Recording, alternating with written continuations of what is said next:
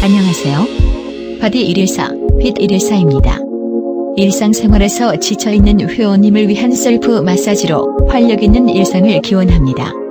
매일 보내드리는 동영상 설명을 잘 보시고 따라해 주시면서 불편하신 부분이 편해질 때까지 최대한 반복합니다. 남성용과 여성용으로 구분되어 있고 통증의 정도에 따라 기본 등급과 심화 등급으로 구분되어 있으니 회원님의 선택으로 효과적인 이용을 하실 수 있습니다.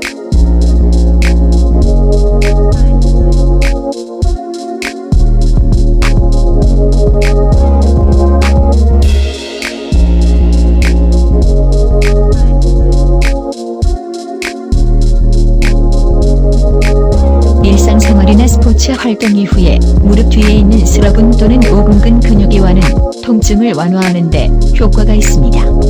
복부를 바닥에 대고 누운 상태에서 종아리를 지면에서 40도 각도로 들어올려 고정시켜주고 무릎 후면의 중앙 부분에 있는 스러근 또는 오금근을 한 손에 엄지로 누르며 돌려줍니다.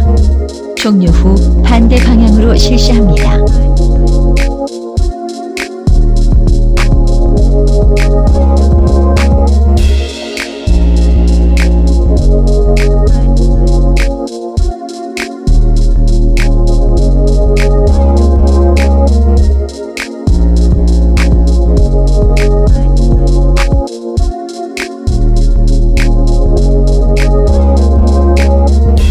일상생활이나 스포츠 활동 이후에 무릎 뒤에 있는 스러근 또는 오금근 근육이완은 통증을 완화하는 데 효과가 있습니다.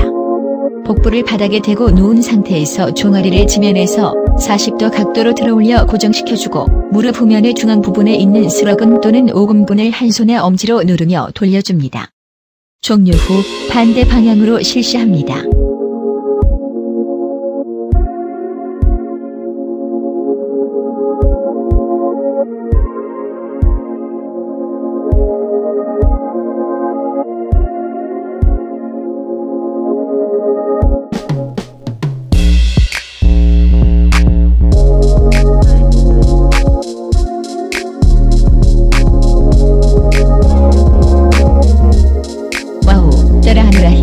힘드셨죠?